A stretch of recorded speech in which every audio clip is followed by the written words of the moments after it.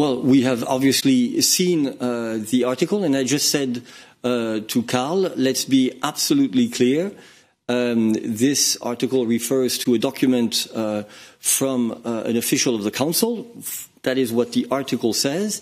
Uh, we have uh, not seen this document and are therefore absolutely not in a position to comment. Obviously, preparations for the European Council are, um, are ongoing, as you would expect, since it's taking place on Thursday.